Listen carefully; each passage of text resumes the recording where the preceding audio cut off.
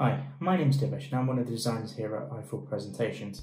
My design top tip focuses on consistency throughout the presentation. Now this is easily lost or can be dropped when resizing individual objects or items in each individual slide. Um, or it could even be changed or lost when changing the overall layout in each individual slide too.